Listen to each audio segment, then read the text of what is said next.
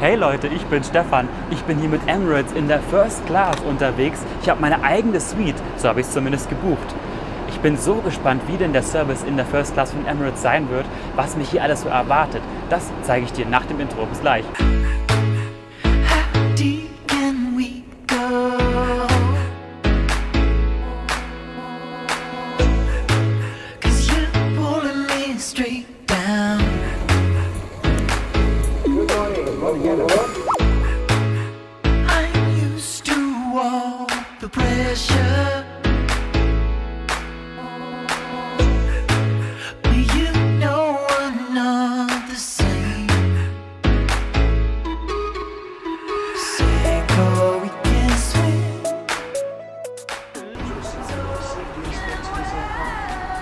Glaube, die sind echt. Die sind tatsächlich echt.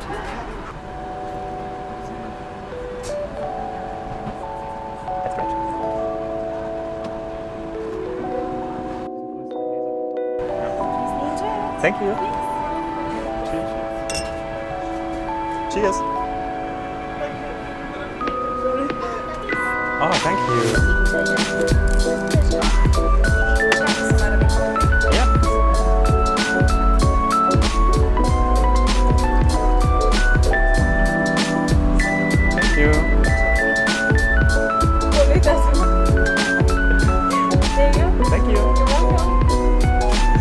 Und natürlich das heiße Tuch wie immer.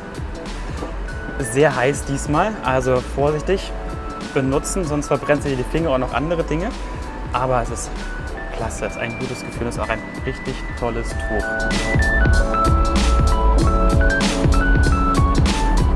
So, was ist hier alles an meinem Platz? Zuerst bekommst du hier den Basket mit ganz, ganz vielen Kleinigkeiten, Süßigkeiten. Was ist denn hier drin? Gluten-free. Oh Gott. Schokolade, Chips ah, und sogar ähm, Brausetabletten für- mit Vitaminen. Das habe ich noch nicht erlebt. Das ist echt klasse. Ja. Hier einmal drauf ein Writing Set. Das ist auch Hammer. Mal aufmachen. Ah, Hier. Mit Stift und natürlich einiges zum Schreiben. Und Umschlägen.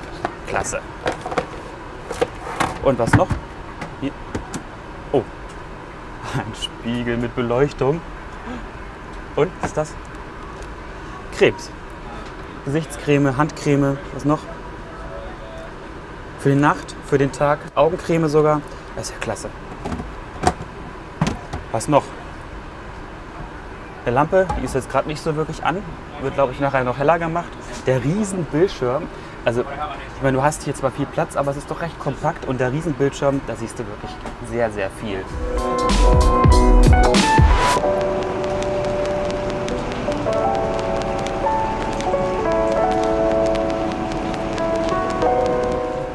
Was ist noch so alles hier? Das ist das Geilste. Die Minibar, die einfach rausfährt auf Knopfdruck. Das Übliche drin, was Emirates anbietet, aber das Geile ist, es ist hier gekühlt und es fährt automatisch raus. Verschiedene Säfte werden immer angeboten, Wasser wie üblich. Da ist noch ein anderer Knopf. was? Oh, der Tisch, genau, der Tisch. Ein Riesentisch, massiv. Aber bewegen lässt er sich nicht, aber brauchst auch nicht. Er deckt ja quasi alles ab, du kannst ja gar nicht weiter.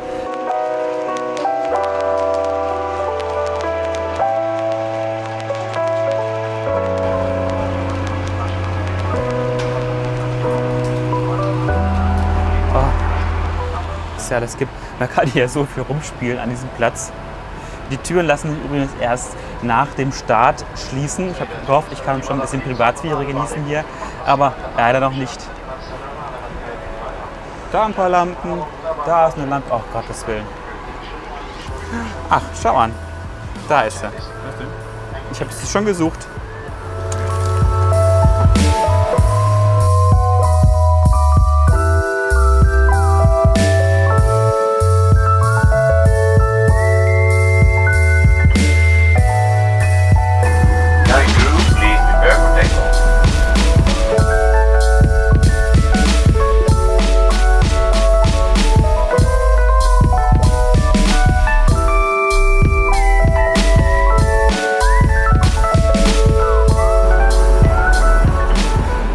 Ich habe richtig Glück.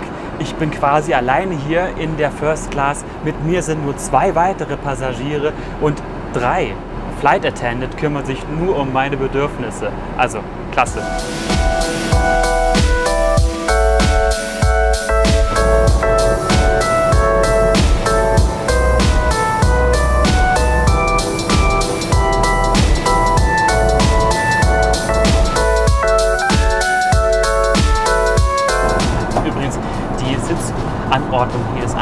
1, wobei die äußeren Sitze am Fenster jeweils vier Reihen haben und innen drin die nebeneinander, also die Zweier, nur drei Reihen.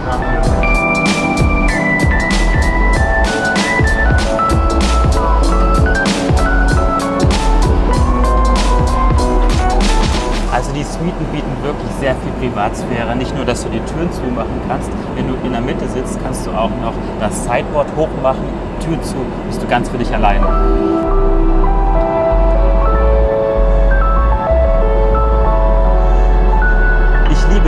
Funktion der Privatsphäre. Ja, hier fängt es nicht nur mit einem Champagner an, nein, es fängt auch gleich mit einem kleinen Canapé, also mit kleinen Canapés an. Ein kleiner Spieß, Fleischspieß, eine Garnele und ich weiß gar nicht, was das ist, mit bestimmt Schafskäse mit ein bisschen Fleisch. Und das Wi-Fi funktioniert auch schon. Ich habe mich gerade eingeloggt, man kannte es noch vom vorherigen Flug, war ich automatisch schon verbunden, nur das ist freigeschalten. Jetzt kann ich surfen. So, der Flug kann also beginnen. Cheers!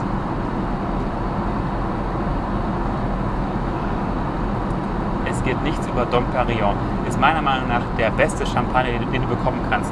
Hast du eine andere Meinung? Dann schreib mir es in die Kommentare. Danke. So, was gibt es noch an deinem Sitz hier in der First Class von Emirates im A380? Vorne hast du die Headphones, die Kopfhörer in einer ziemlich coolen Verpackung. Und die sehen auch nicht nur toll aus in der Verpackung, sondern die Headphones an sich sind schon ziemlich klasse. Hier mit dem Logo mit Nussholz und auch wirklich Noise Cancelling. Man, es ist nicht eingesteckt und ich höre jetzt schon kaum was. Du hast hier auch noch die Möglichkeit, da das Noise Cancelling an- und auszumachen. Und du hast hier noch einige andere Päckchen. Du bekommst jetzt hier keine große, kein großes Amenity-Kit, weil ich fliege jetzt ja nur sieben Stunden und es ist kein Nachtflug. Allerdings hast du hier das kleine Amenity-Kit, sage ich jetzt mal, mit den Eyeshades, den Augenbinden. Ja, in der First Class sehen die schon ganz anders aus. Die sind weich, dick, komfortabel, würde ich mal behaupten. Und das sind die Slippers, also die Hausschuhe nenne ich sie jetzt mal. Das so sehen sie aus. Hier ein wenig flauschig, ein bisschen fällig hier und Emirates Logo natürlich auch drauf. Und das ist das Menü in der First Class in einem Case verpackt. Und so sieht das innen drin aus. Wenn du vorher schon wissen möchtest, was dich auf diesem Flug erwartet, schau am besten auf der Homepage von Emirates und dann kannst du What is on my plane, on my flight, kannst du schon sehen, welches Essen, welches Menü dich erwartet, welche Getränke auch und auch welches Entertainment-System und natürlich auch welche Sitze. Jetzt gut, A380 hat immer die Suites, aber in der Boeing 777 kann es mal sein, dass du die alten Sitze hast. Ich hatte jetzt zum Beispiel mal die alten Sitze, die nennen sich zum nennen sich übrigens Sky Cruiser und sind wirklich nicht zu empfehlen, meiner Meinung nach. Aber guck doch mal mein Video an und sag, was du darüber meinst.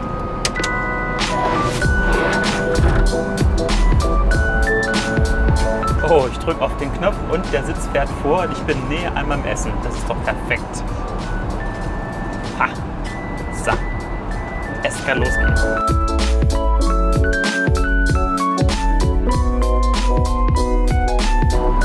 Das sieht schon mal gut aus. Jetzt kommt gleich der Kaviar.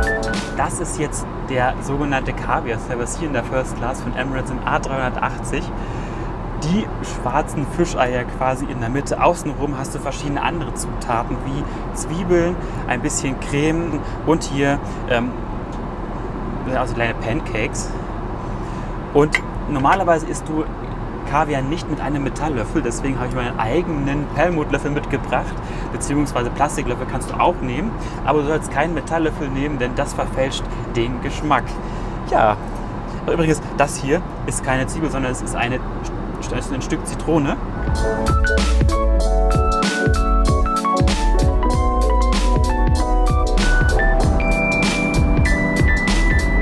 Sehr lecker.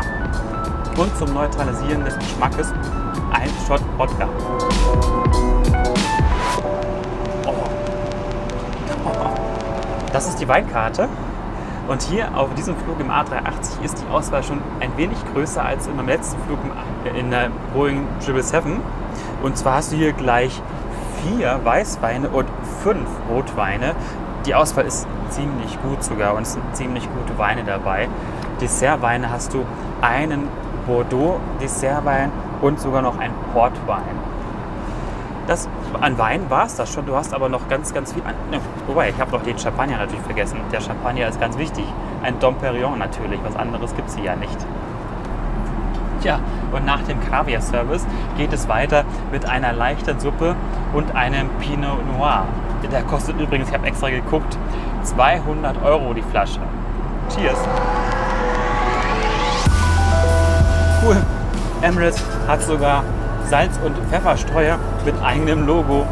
Da ist es noch so schöner, damit zu salzen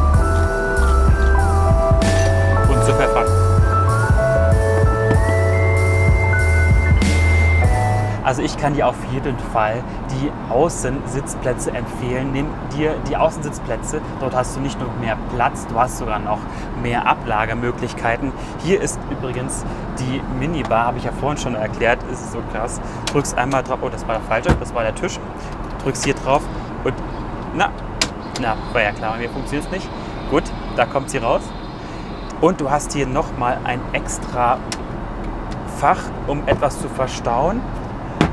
Und hier hast du auch noch ein Fach, was wesentlich größer ist als das in, von den Sitzen in der Mitte. Dort hast du nur die Hälfte an Verstaumöglichkeiten.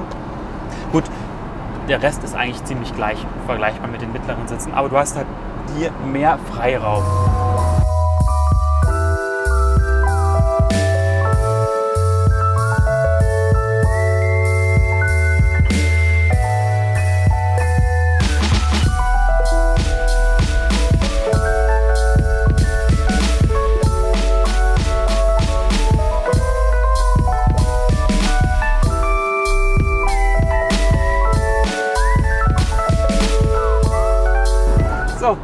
Ist jetzt meine Bettausrichtung hier. Das Bett wurde mir sehr schön gemacht, auch wenn ich eigentlich tagsüber fliege. Ich möchte gar nicht fliegen, aber ich wollte es zumindest mal ausprobieren, hier in einem Bett zu schlafen.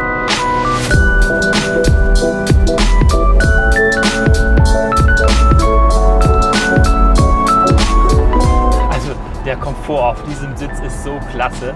Ich schlafe wunderbar. Es ist so bequem hier und du hast so viel Platz.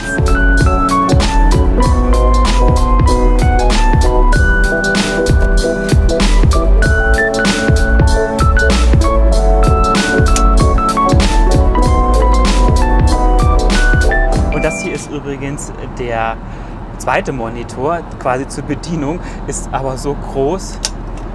Einmal drücken, da wird es freigeschalten, wie ein ganzes iPad. Und du kannst hier quasi alles bedienen. Ne? Den Sitz kannst du hier bedienen, alle möglichen Positionen damit verändern. Du kannst hier auch das Licht steuern. Siehst, ha. Alle Lichter übrigens und die Privacy Light und auch natürlich die Türen steuern. Und zu sind die Türen. Zumindest fahren sie gerade zu. Das Entertainment-System ist auch ziemlich groß. ICE nennt es sich hier, das Entertainment-System von Emirates. Hat eine Menge Auswahl, hier auch in dem A380, eine Menge Auswahl an deutschen Filmen und oder auch an Serien. Gut, die sind meistens allerdings auf Englisch, aber die Filme sind meistens alle auf Deutsch verfügbar, Englisch sowieso. Und das hier ist übrigens das Amenity-Kit in einer ziemlich großen Tasche hier, also eine Einkaufstasche fast schon. Und das finde ich besonders cool.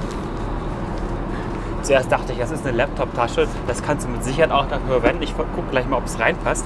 Aber dort ist der Pyjama drin. Tada! Der Pyjama.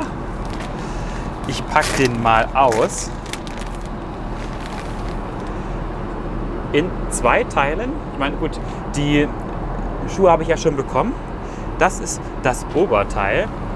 Jetzt habe ich gar nicht gesagt, welche Größe ich brauche. Ich habe wahrscheinlich ein viel zu großes. Das ist mir zu groß. Und ja, die Hose. Cool. Und das sieht eher aus wie eine ganz nette äh, Laptop-Tasche. Ich probiere mal, ob ich die da reinkriege. Also ob ich meinen Laptop da reinkriege. Weil ich finde, es ist genau richtig. Es passt perfekt. Tada! Das nehme ich mir auf jeden Fall als Andenken mit nach Hause. Außerdem ist dieses nette Amenity-Kit dabei in einer Lederverpackung von Bulgari natürlich. Das ist schon mal drin. Es ist eine ganze Menge, was da drin ist. Der kam. Deo, ein Deo-Spray. Rasierschaum. Zahnbürste, Zahncreme, ein Rasierer, Bodylotion,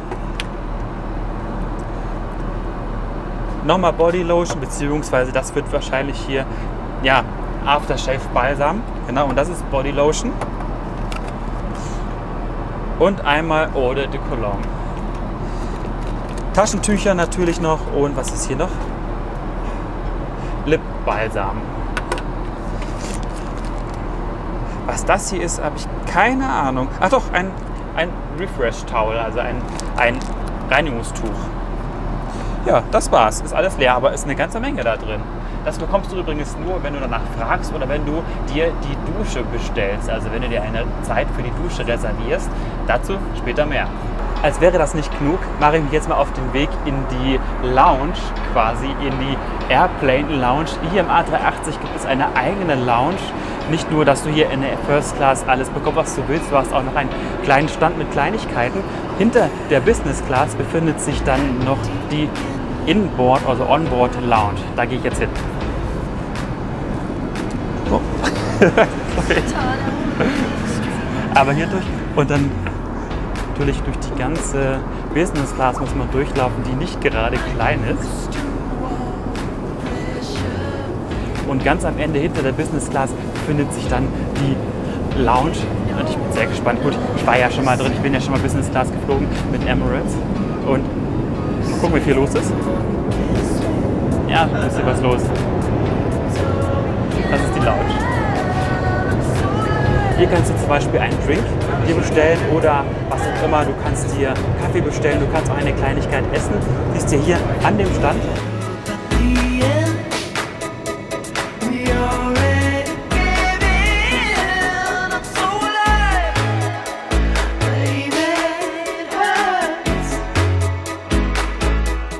Natürlich gehört das obligatorische Foto in der Lounge hinter der Bar auch dazu. Ich habe einen leckeren Cocktail, einen Martini.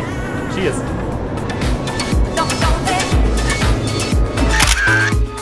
Yes, cheers! Cheers!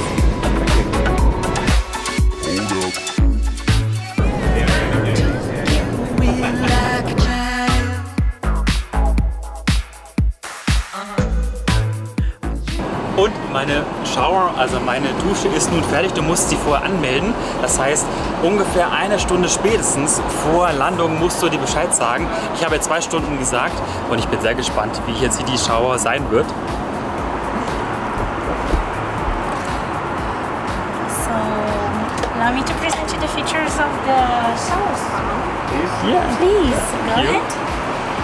So, you have a preheated uh, floor at your disposition. Yeah. Uh, the minutes of running water that you're gonna have at disposition are gonna be five, but you are able to stop them uh, whenever you prefer. Uh, your allocated time in the shower spot to enjoy the experience is uh, half an hour.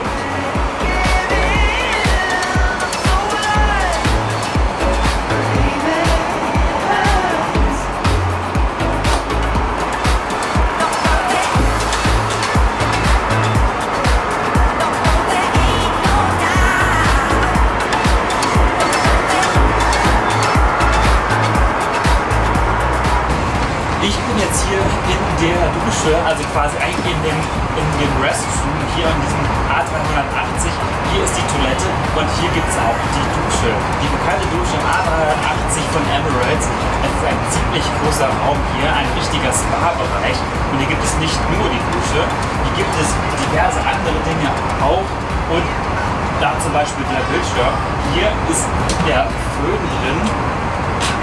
Also ich fühle mich eigentlich eher wie in einem Hotel am Boden. Aber ich bin ehrlich gesagt hier in einem Flugzeug. Es ist ziemlich krass. Hier zum Beispiel gibt es noch diverse andere Amenity-Kits, die Zahnbürste. Da ist auch noch ein Kamm drin. Hier gibt es verschiedene Tücher noch. Ähm, was gibt es noch hier? Hier ist zum Beispiel noch ganz viele andere Dinge. Die Shower Cap oder Rasierer. Jetzt werde ich erstmal die Dusche ausprobieren. Ich habe gerade mal 30 Minuten Zeit, hier duschen zu gehen und 5 Minuten das Wasser laufen zu lassen. Okay, ist ja auch normal. Wenn ein paar Leute mehr hier in diesem Flugzeug sind, ist das Wasser nur begrenzt.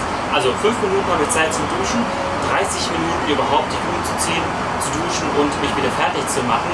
Mal schauen, wie ich das schaffe. Let's start!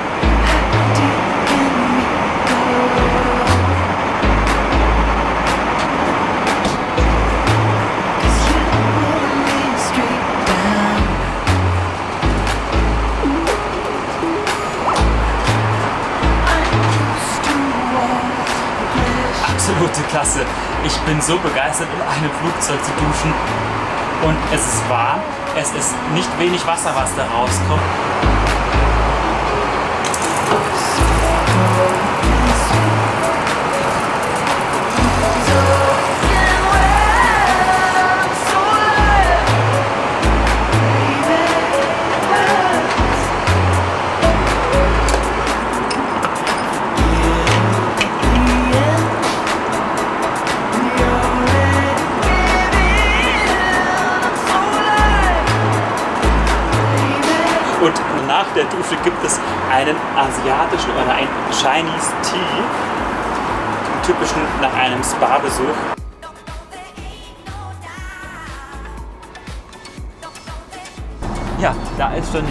Käseplatte. Aber bevor ich jetzt die Käseplatte esse, möchte ich mich verabschieden, denn wir sind bereits schon in dem Landeanflug. Und für mich heißt es, ja, Kuala Lumpur Hallo und Emirates Goodbye. Ich habe eine Menge hier gesehen, habe eine Menge hier erlebt. Auf diesem Flug, es waren ja nur siebeneinhalb Stunden, aber der Service war erst erste Sahne. Ich war super zufrieden. Hallo, ich habe in einem Flugzeug geduscht.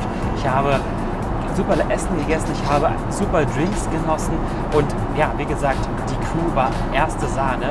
Vielen Dank dafür, Emirates.